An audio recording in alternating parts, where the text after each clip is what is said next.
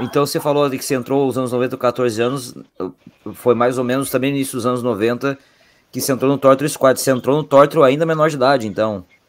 Entrei, entrei com 15 anos, na verdade. Eu, 14 eu comecei a tocar em 1991.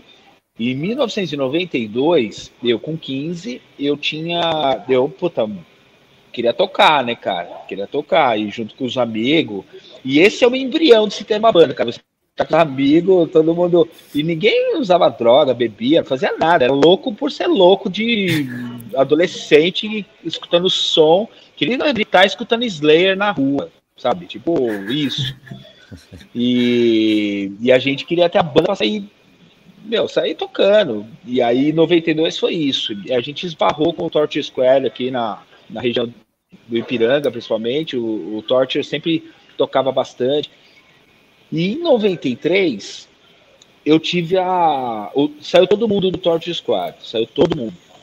Só ficou o Cristiano Fusco. E aí ele veio e me fez o convite. E aí eu fui o primeiro a. a ele estava remontando a banda. E aí eu fui o primeiro a entrar.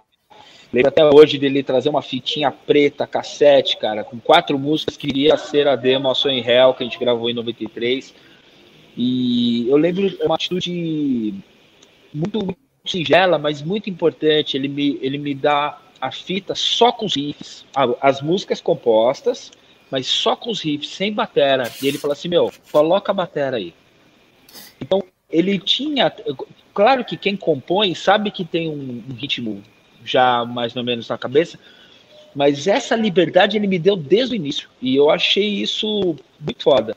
E é uma coisa que eu e o Castor permanecemos com essa atitude com todos os, os integrantes que foram entrando né, no Torture. Eu acho que quem entra sempre tem algo a trazer, assim, a, o estilo da banda sempre foi ter o embrião do trash death, a paixão por esse, por esse metal, mas também ter a, a paixão em e, a, e eu diria a honestidade de quando se sentir uh, se sentir é, é, inspirado por algum outro tipo de música, seja qual ele for, de tentar trazer para o nosso liquidificador metal, sabe? Uhum. E, e, jogar na nossa música. Isso aconteceu a carreira inteira e sempre vai acontecer, porque esse é o, isso é o que faz as pessoas.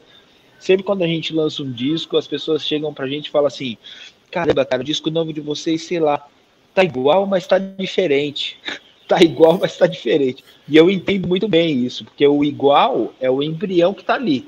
E o diferente é. são os elementos novos que a gente trouxe, e a cada disco sempre tem isso. E isso começou desde lá. E aí, em 93, em outubro, quando o Cristiano, voltando lá em 93, quando ele me chama, eu trago o Fulvio Peli, outro guitarrista, eu trago o Vitor Rodrigues, e eu ia trazer o baixista também, se o Cristiano quisesse. E aí ele falou: não, o baixista eu tenho. E eu ia trazer minha banda, né? O Totti ia...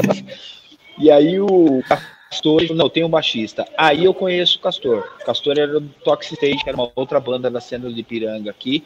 Aí monta o que é o line-up da primeira demo tape do, do Torture, que é a Ação Real. Primeira vez que a gente entra em estúdio para gravar. A primeira vez a gente nunca esquece, né, cara? É, é, é, é, isso aí. É entrar sem saber fazer nada e entrar com a querendo fazer. É isso. E aí foi daí para frente, é isso aí. A banda sempre com a intenção de ensaiar, compor, gravar, e aí a história vai.